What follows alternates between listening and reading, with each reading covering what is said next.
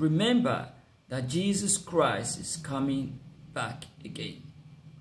He's coming very, very soon. He will first of all come in the rapture and be in the clouds, and we will go to meet the Lord in the air. And immediately after that, there will be chaos in the world.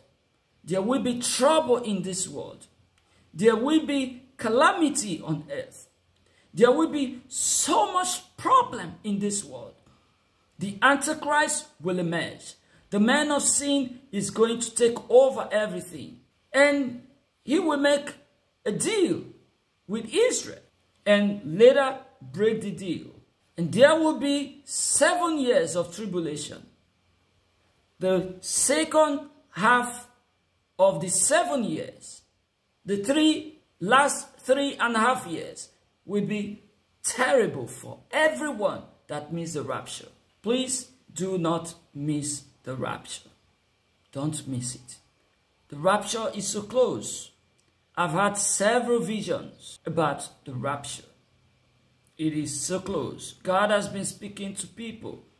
This is close. Please get yourself ready. Just as the Lord told me, get ready to fly. Please get ready. Let me read it. Let my children be wise. Let them that know the time of their flight. Let them know that the time of their flight is nearer now. Please get ready to fly. Do not give up. A minute in heaven, you will forget everything. The moment our bodies are changed, we will forget everything. Have a little more patience. Have a little more patience. Wait for God. Do not take loss into your hands. Do not retaliate.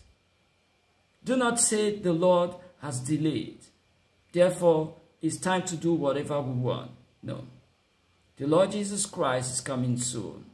Get yourself ready to fly. Let us pray.